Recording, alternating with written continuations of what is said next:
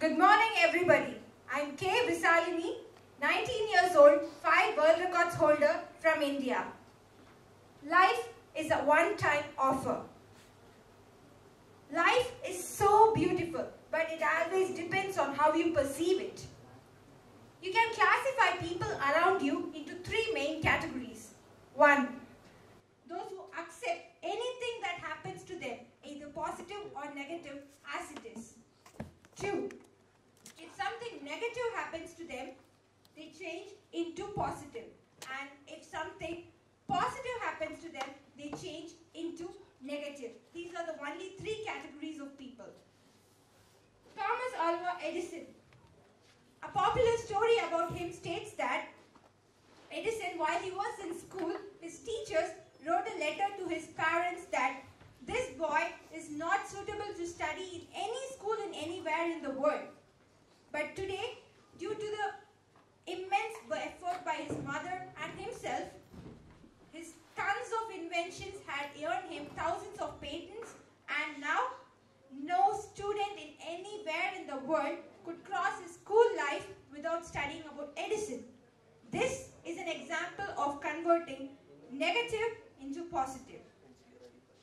Abhinav Bindra, this man with vision disorder, had chosen rifle shooting as his career and passion. In 2008 Beijing Olympics, he won gold medal for India and he became the first one in, from India to earn gold medal in an individual category. When the Indian flag was soaring high and the national anthem was playing in the background, Mr. Bindra bowed down to receive the medal. And at that moment, every one of us would have felt like we ourselves have earned that medal. This is also an example of converting negative into positive in life. But the expert in anything was once a beginner. Let's define life. What is life? It is nothing about finding oneself. It is about creating, sculpting, and just molding oneself. Life is not about just living in this world. It is a great opportunity to create a, an impression that we have been in this world. Once in an interview, Mr. Bill Gates was asked about a question like, why does Microsoft hire too many Indians? Because almost 34% of Microsoft employees are Indians. And Mr. Gates, with a grin, replied that if I had not hired Indians in Microsoft, Indians would have made their own Microsoft out there in India. Our potential is well, very well aware to outsiders, but we should understand that. I had met our former president, Dr. APJ Abdul Kalam sir, twice in my life. Once when I was three years old and again when I was 14 years old. He just advised me one thing. Visalini, you are an Indian child born to an Indian mother and an Indian father. Learn anything from the world, but all that God has bestowed upon you should be utilized only for the welfare of the Indian nation. I felt his advice very surprising. Like, why did he say so? But later I understood the real meaning behind it. I started writing and appearing for uh, international certification examinations in computer science domain from an age of 10. And in that course, I had, I had broken the records of two Pakistani students who so far hold only one international certification each. These international certification examinations are written by students only after their BTech and MTech. But I started doing them in my 10 years and broken their records. And now I stand proud as an Indian girl with 13 international certifications. And that is the time I felt I kept the word of Dr. Kalam for the first time. For the first time in Indian history, a 15 years old was invited by Indian Space Research Organization, ISRO, to deliver a technical lecture to 700 plus ISRO scientists. That was me. I had delivered two hours technical lecture and that lecture received huge applause, standing ovation, the Mangalyaan satellite sent to Mars by ISRO, which is the most prestigious memento in the whole Indian country. And this is the second time I felt I kept the word of Dr. Kalam. To me, being an Indian is not just my identity, it is my passion. We in India, almost 65% of the population has uh, the age of less 35 years. So we have the world's largest young workforce. Name any technological or strategic development today. Uh, you can. Shall I start from this slide? I'm getting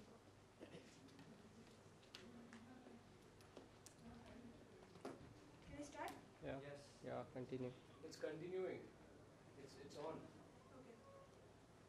To me, being an Indian is not just my identity, it is my passion.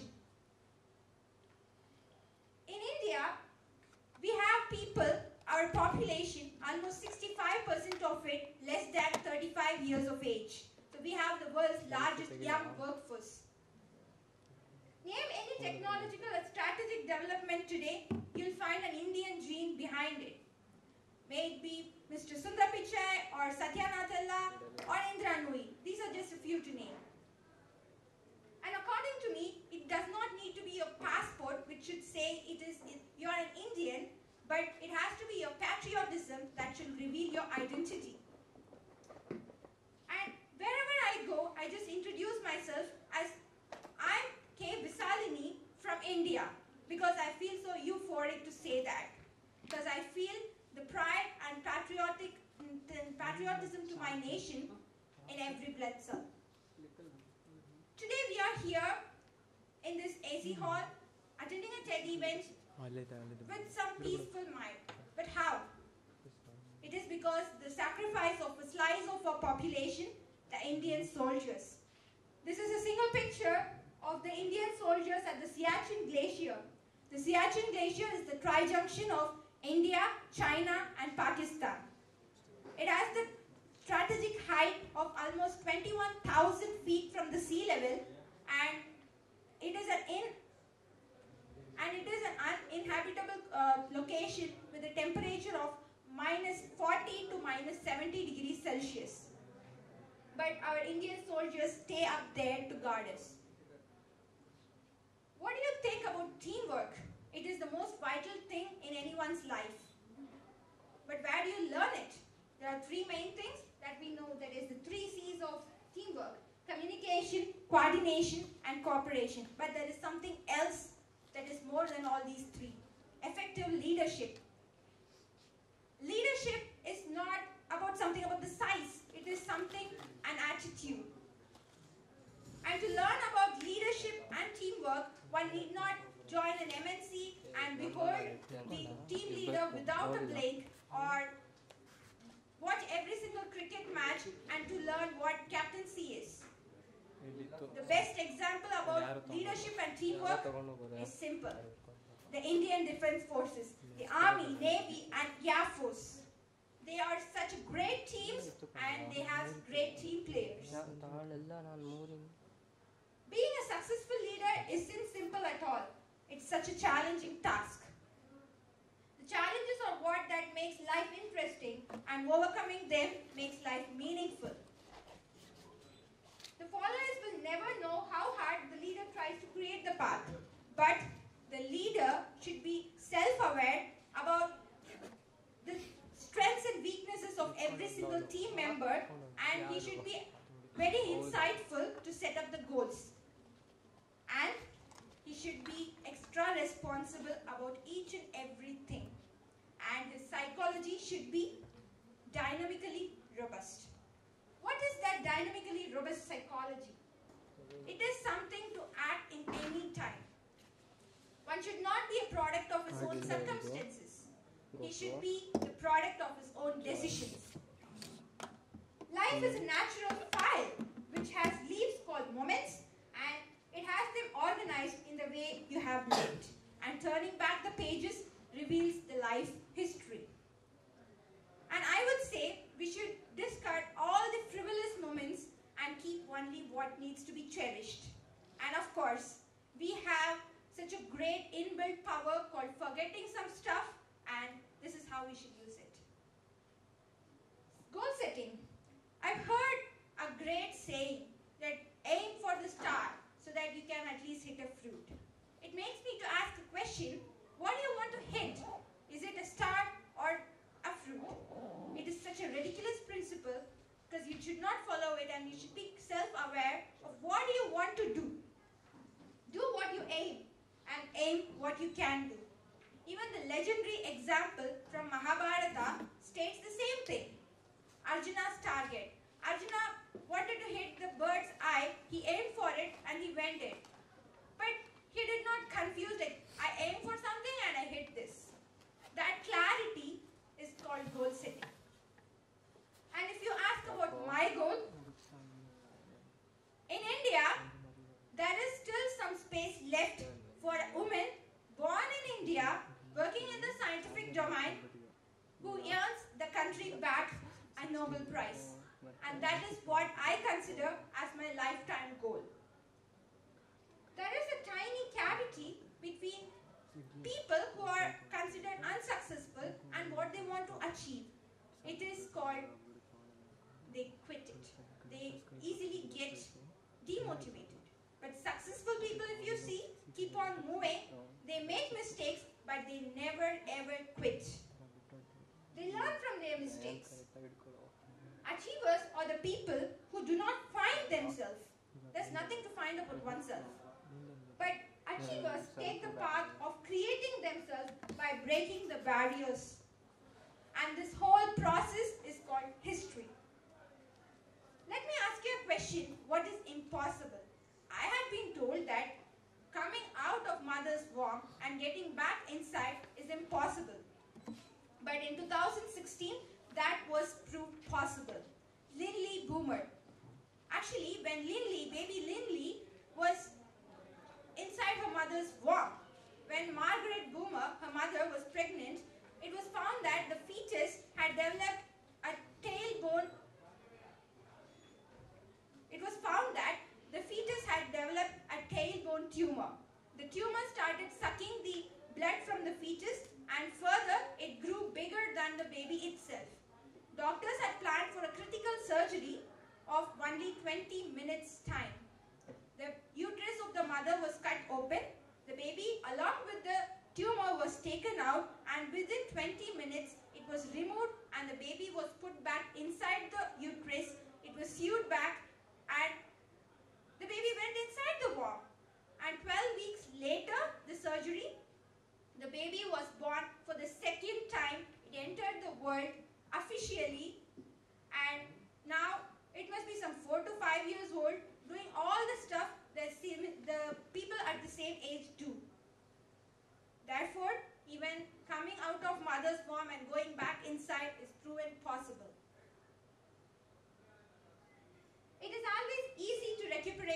failure.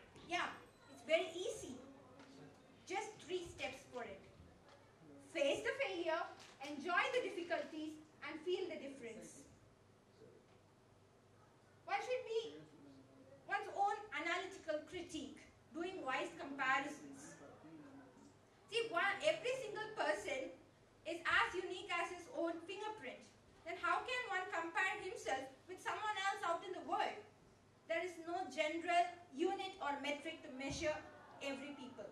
Everyone is unique. Therefore, one can always wisely compare himself, his today, with his past. And always feel composed. Even if you have achieved your birth motive or even if you have failed in the most simplest thing ever in the world, just feel composed. Because a seed, even a seed needs to fall down and bury itself inside the soil for years to grow into a large tree. A butterfly has to force itself in the pupa stage to surf the sky with its wings. You can notice here growth happens in silence. The silence can take anyone to greater heights. What can stop you? Is that other people? Is that obstacles? Never. It's you yourself halting yourself from getting exposed to pain. Yes, I really agree with the point that failure brings pain. But there are two types of pains. One that hurts a person and second that changes the person. Just discard all the hurtings. Just remember what you have changed. Have you ever wondered how life would be if it is totally painless? There is a disorder called CIP, congenital insensitivity to pain. And people with CIP say that pain is precious. We should learn to handle pain and to endure pain. That's it. What's the difference between learning and studying? Just, uh, do you learn to ride a bicycle or you study for it? Or you go for an exam, you just study for an exam or you learn for it? Study. It happens. Because if you had not touched a bicycle for about 10 years, you can generally ride it easily. But it never happens with your examination. What's the secret ingredient? It is the passion, interest, and quest to learn something which is absent in studying stuff. When you start learning, you turn on a mode. You just learn new lessons to halt yourself from previous failures. But you get new failures that gets you new lessons. Just stay positive about that. There are five success keys. Time management, determination, self-confidence, positive thinking and smart work. Don't toil hard, just go for the opportunities smartly. Use them wisely. Opportunities do not knock your door twice. But nowadays, they do not knock your door even once. Therefore, no, don't miss any opportunity. Use them wisely, but never ever misuse your opportunities. And if you feel in any part of your life that you do not get an opportunity, you do not get the chance you deserve, then life has given you a great chance to create your opportunity yourself. Always stay positive and calm. Breaking the boundaries and the stereotypes that keep you away from your success and what you want to achieve. I would like to say that I would like to say that we all have arrived on this earth with a return ticket. All we do not know is the date, the time and the location of departure. But we definitely have a very confirmed ticket. Our seat is confirmed. So guys, life is a limited period offer. Use it well. And to do that, you need to be a warrior and not a warrior. Time has no holiday, dream has no expiry date, and life has no pause button. And therefore, life is like a coin. You can spend it any way you wish, but you can spend it only once. Life gives you opportunities to learn so many things. It starts from mathematics to science to computers, from business management to geography, from arts to